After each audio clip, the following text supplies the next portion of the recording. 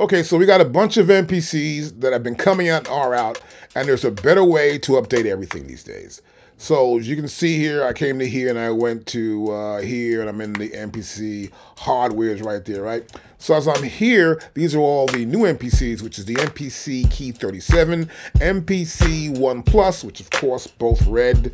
And so Akai means red in Japanese. It's actually Akai, Aka, and then a Kai E, I is an E in Japanese, it's called Akai for us. Anyway, that's why they're red. And they're probably making a different thing now. It's 40 years since the beginning of Akai. So you gotta realize they're trying to do something new here. And they've done a lot more than just make MPCs here. They also have a better way to update your MPC software. And I'll come down here to my menu here. You'll see it here. And this is the InMusic Brands Software Center. I click on this right here. And as I do, you see it's connecting, getting lined up. And this is a better way to update everything. And you're gonna see that here. Welcome back. I've been here for a while. This is cool. So I come to here. I think I'll go big time with this. Oh, there we go. I like this big time thing. As you can see here, there are updates. So I've already updated my MPC uh, 2. And I can go here and press open. It opens up my MPC right here. And of course, I can come to here. I can collect. I can check for actually uh, updates. So I'm gonna go here to check for updates. Updates, okay, it's cool. So I go to okay, that's good. And to approve it, I'll just come here to About MPC, and you'll see a latest version, which here mine's uh, 12.13. Uh, that's cool. And we'll click on that, and it's closed out. Now I want to go back to my um, music brands thing here, right? So I've got MPC beats also as well I use for some things. So I may come to here and update. And once you do, you'll notice here, it's starting to update. So even if I have my MPC 2 software up and I press the same thing I see update, this is an easier way to update your software using the InMusic Software Center, which is so much easier. Now, not just for that, you see as I scroll down here, I have a lot of stuff. I got the fabric collection. Um, I have here also a hybrid. I have Jura right here. There's an update for Jura now, which I didn't know until I went to the InMusic Software Center. So it's good to open it up continually, at least once a month. Hopefully, I do mine like once a week and find out what the latest update is. I tend to do it more than that because now we've got so many MPCs and they're updating all these softwares that match up with these machines. And it's important that something might happen. Is the fourth anniversary, so I have no idea what they're doing this year, but they're doing a good job with that MPC Key 37. It's everywhere. They're sort of pushing it hard, and they weren't even at NAMM, so they're ahead of the game by out there marketing their item rather than being in there for the show because they can show on the internet. And it's nothing new actually. So normally when they do go to NAMM, it's a brand new device. So here we go. As you can see here, update Let's go back up to here. It's still downloading there. It's 51%. But you can say, come to here. I may want to download this one. Jura. I come to here and start to download the update for this. This is an update for that one. I keep scrolling down. I can install this one, the organ, the stage. I can install these on my computer activated. So um, they should be on my computer, but I'm going to reinstall those probably too also as well as time slips by. But I can come here on the left-hand side. I can click hardware, right? And I have a whole bunch of hardware here that I've had, I've used already, and then stop, run, right, for the hardware right there. You can see I have this one too, so it tells me what to do with that. I have my expansions here, and it sees all my expansion packs. And I can, they're already installed here, which is kind of cool, and I can use any one of these. I also have all software. So this all software thing includes a lot of different stuff like Bassline, uh, BFD, BFD player, core. We got the drum synth, we got electric, Fabric, so it's all in here too as well. And so this is really good. Then we got free software. So it covers everything that we've got here that we can use for the Akai software. And we got offers here too as well. You see offers for stuff that it's selling. You can redeem certain things here as well. Three months splice, I can redeem that. We got, uh, what's this, Reason, get six months free. So there are a bunch of offers in here too, which I'm really not really into. I've got most of the real soft, big software here. And of course, there's three months free splice so that already.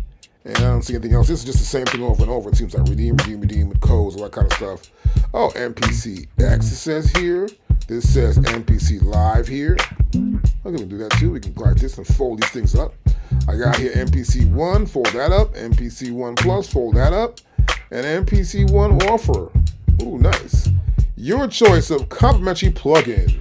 I already redeemed that already, so I always want to see if I have an extra one here. No, copy the clipboard, redeem. Oh, I go to redeem, it takes you right over here to where I can redeem it. Whoa, kind of cute. But I already did, so I can't do anything about that. And so let's go back over to our InMusic Brands. And so this is how we use InMusic Brands. Plus there's support down here as well too.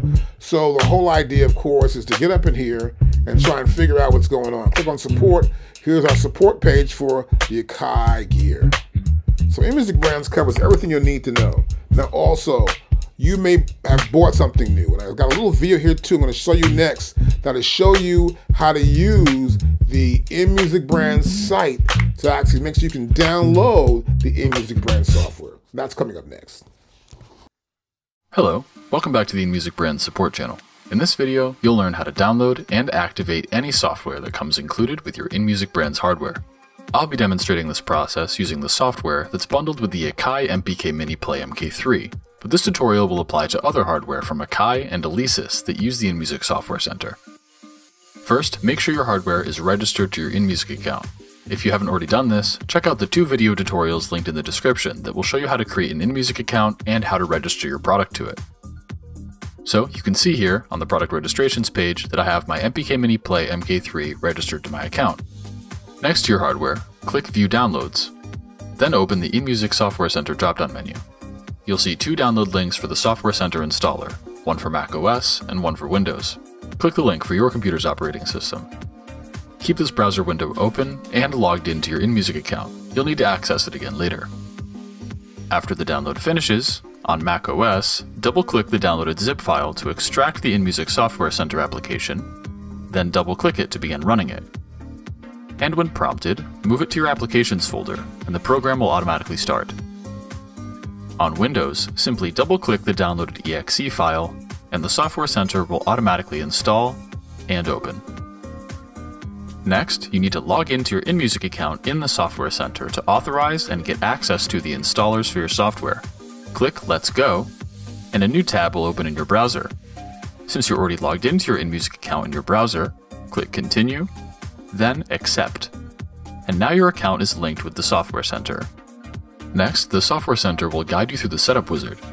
It'll first ask you to connect your hardware to your computer, so do so with your product's included USB cable. If you see a button on this page that says Redeem Software, click it and wait for the confirmation pop-up before proceeding. On the following pages, you'll be given the option to choose which pieces of included software you want to install. Any software that is recommended will be checked by default. For the best experience with using your hardware and software together, we suggest keeping these checked. Plus, if you're anything like me, you'll want to take advantage of all of your products included software, so I'm going to select all pieces of software. Once you've made your selections, click Done, and the installers for your selected software will automatically begin downloading. Primary pieces of software, including applications and plugin instruments, can be found in the My Software tab, while sound packs and expansions are in the My Expansions tab. Once the installers have finished downloading, simply click Install to begin the installation process. We recommend starting with installing apps first, then plug-in instruments and expansions.